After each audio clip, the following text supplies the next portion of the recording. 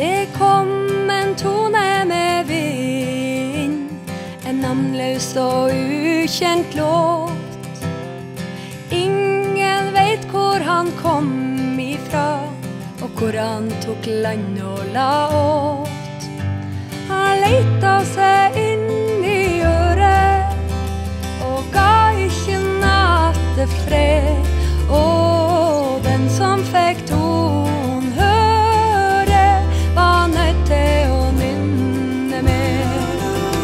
Det kom ei strofa med straumen, rekende på ei fjøl. Hun var visst mynta og meint som et dikt og skapt til å klare seg sjøl.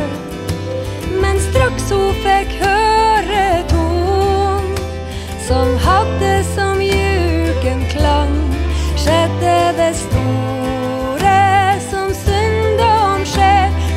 Føddes den første sang. Han var kanskje enkel i klangen,